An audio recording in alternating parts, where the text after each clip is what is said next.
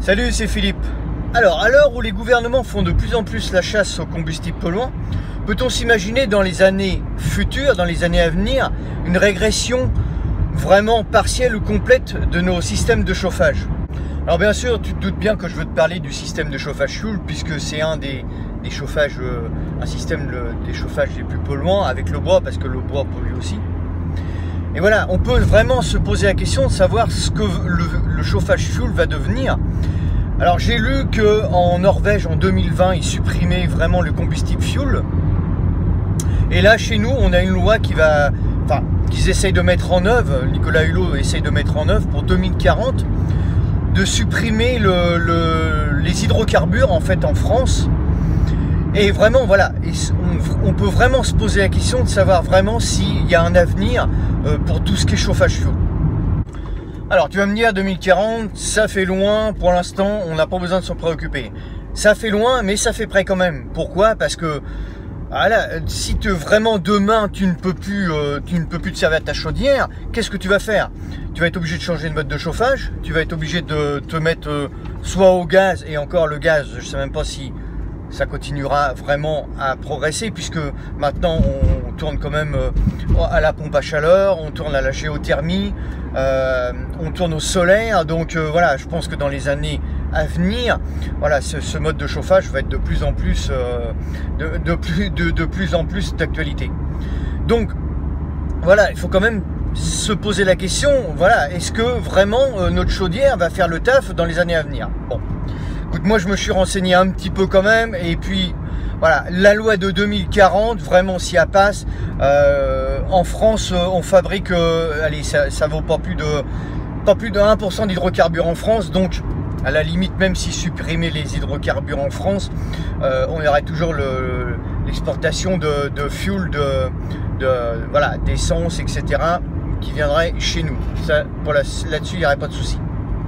Après, après, le fait euh, de dire, voilà, le fuel c'est polluant et tout, apparemment, ils vont sortir des nouvelles chaudières à condensation, fuel à condensation, qui vont être vraiment performantes. Donc, du, tout, du coup, ils travaillent dessus.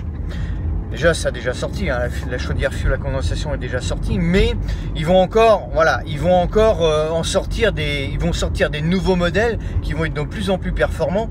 Apparemment, on gagnerait encore de 15 à 20 de rendement.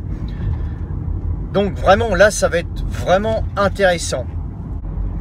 Alors forcément ça aura un coût quand même. Donc euh, voilà, il parle de, de 5 euh, à 12 000 euros je crois la chaudière.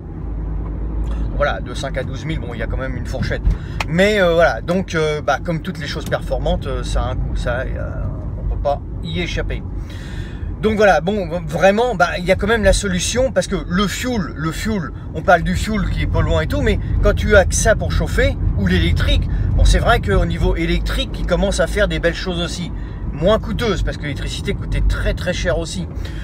Mais je vois chez moi, euh, bah, moi je chauffe au fuel, pourquoi? Parce que bah, l'électrique euh, à l'époque c'était très très cher. Et puis, bah, nous, on n'avait pas le gaz. Je veux dire, même chez moi, j'ai pas le gaz. Donc, euh, bah, t'es bien obligé de chauffer à quelque chose. Donc, euh, bah, nous, on s'était retranché. Je m'étais retranché sur le, sur le fuel. Et euh, au bout de 30 ans, bah, j'ai toujours pas de, gaz qui passe dans ma rue. Donc voilà. Donc moi, mon chauffage, c'est le fuel. Avant, je chauffais au bois. J'avais un insert et je chauffais au bois. Et voilà, c'est de, faut voir la manutention que ça a amené et, bon voilà, et pas un chauffage vraiment vraiment euh, voilà, confort. Donc vraiment, c'est vrai que maintenant ils font des poils à granulés et tout. Bon, je sais pas ce que ça vaut. Je, je ne suis, je, me suis pas trop encore intéressé à la, question. Mais voilà, pour dire que le chauffage fuel, bah, il y a beaucoup, il y a beaucoup de personnes, il y a beaucoup de foyers qui chauffent encore avec le chauffage fuel et qui vont continuer à chauffer avec le fuel pendant encore des années. Par contre, ils vont pas nous supprimer le fuel, mais voilà, ça sera de plus en plus cher. Ça, enfin, faut pas se leurrer, faut pas rêver le litre de fuel coûtera de plus en plus cher dans les années à venir. C'est pour ça qu'ils essaient de sortir des chaudières de plus en plus performantes au fuel pour justement arriver à équilibrer entre le fait que la chaudière consomme, le fait de la consommation de ta chaudière et puis le prix, bah, du fuel. Parce que forcément, quand tu vas remplir ta cuve de 1500 litres, euh, tu vas le sentir passer. Déjà que on le paye pas mal par rapport à, à 10 ou 20 ans, même 10 ans. Ça a stagné un peu, mais de toute façon, il va remonter. Ça, faut pas rêver. Donc, voilà. On pourra toujours chauffer au fuel, mais ça va nous coûter cher. La chaudière va nous coûter cher. Voilà. Pourquoi On rentrera peut-être dans nos frais, mais euh, voilà. De toute façon, le fuel sera de plus en plus cher. Alors je te cache pas que si j'avais le choix entre le fuel et le gaz, eh ben je prendrais le gaz forcément, puisqu'il y a pratiquement pas d'entretien dans les chaudières gaz.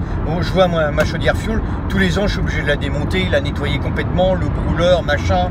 Bon, voilà, ça coûte pas non plus une blinde parce que c'est moi qui le fais, mais je veux dire, si tu fais faire un entretien annuel de ta chaudière fuel, eh ben voilà, ça va te coûter plus cher qu'un entretien avec ta chaudière gaz. Ça c'est automatique, ça c'est clair.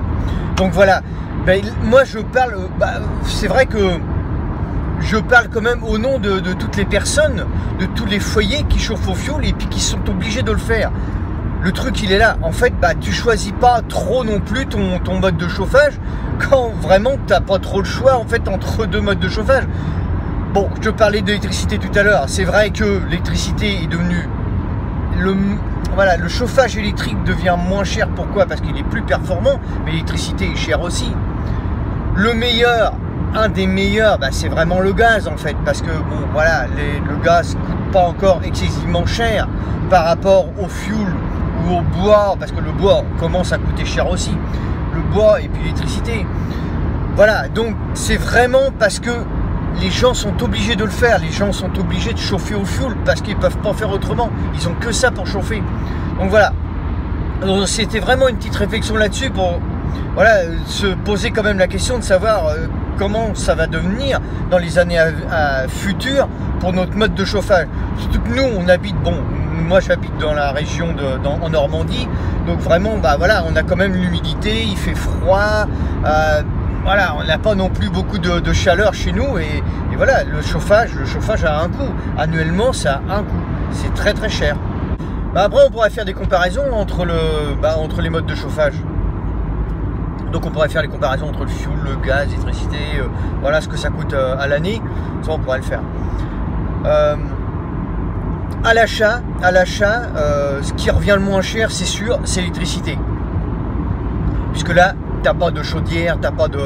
Voilà, le peu de radiateur quota, enfin le radiateur quota coûte vraiment moins cher que toute une installation de chauffage avec euh, du cuivre, avec du PE et puis euh, les radiateurs adéquats et tout, le, système.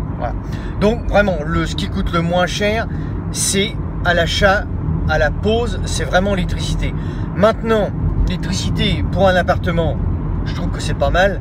Par contre, pour une maison à étage, ça fait un peu jeune.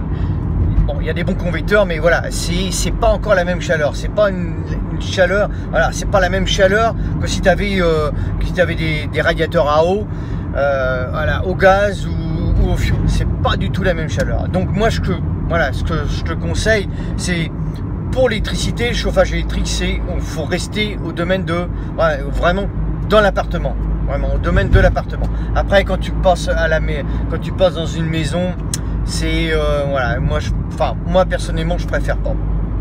Bon, voilà ce qu'on pouvait dire un petit peu sur le système de chauffage. Bah, je pense que le chauffage, ça aura fait couler de l'encre hein. depuis des années et des années que tout le monde en parle. Voilà, bon, bah, de toute façon, euh, il faut bien chauffer, il faut bien euh, se laver avec de l'eau chaude, etc. Bah écoute, bah dis-moi, euh, fais-moi, mets-moi un petit commentaire euh, pour me dire euh, ce que tu penses un petit peu des systèmes de chauffage. Comme ça, bah, on va avoir une petite interaction ensemble pour voir un petit peu, voilà. Et puis je te répondrai un petit peu là-dessus si, voilà, si tu me mets des commentaires. Hein. Bah écoute, si t'as aimé, bah partage, abonne-toi. Et puis bah moi je te retrouve sur une prochaine vidéo. Tiens bah tu vois là je, je, je rentre chez moi, je reviens de Paris là et je file sur Rouen, je rentre chez moi. Voilà, bah écoute, euh, porte-toi bien. Moi je te dis bonsoir et puis ciao ciao, à la prochaine.